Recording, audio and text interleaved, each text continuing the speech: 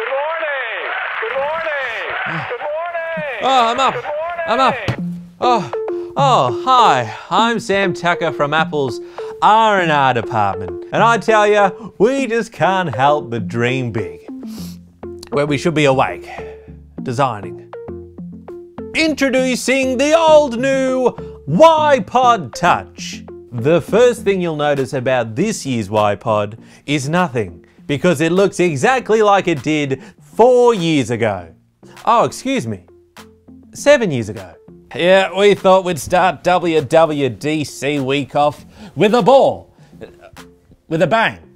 So the new whyPod has the same old screen, the same battery as last year, the same rear camera, but the front camera is exactly the same. Because here at Apple, we have a saying, if it ain't broke, don't fix it. And if it is broke, blame the customer. Although I have heard that might not technically be legal. Here, let me call the legal department. Oh, oh, oh. Hello, this is Mr. Apple, attorney at law and attorney in bed. Hey, I was just wondering if. Uh, what? Oh, yeah, uh, sorry.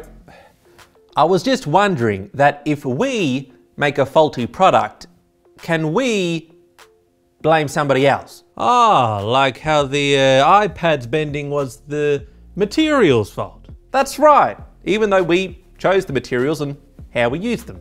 And that's what I told the judge. Unfortunately, she said that was baloney, so tell me what the fault is and I'll add it to the 13 inch MacBook Pro keyboard replacement program and the screen replacement program, battery replacement program, storage replacement program. You know what? How about we just remove all that legal compliance looking jargon on the back? Save us a lot of troubles. Ah, good thinking different there. Ah, so there is one difference you will notice from last gen, and that's that we removed some of the markings on the back, including this one in particular, because it turns out that you can throw our ideas in the bin. The recycling bin. Ah, there is one other of one of our innovations we've included.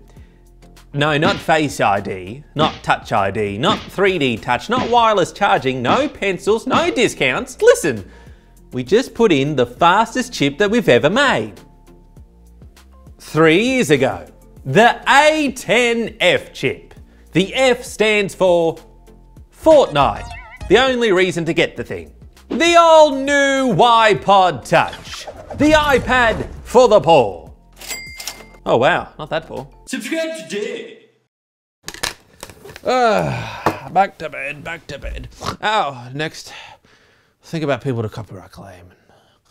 That's my dream.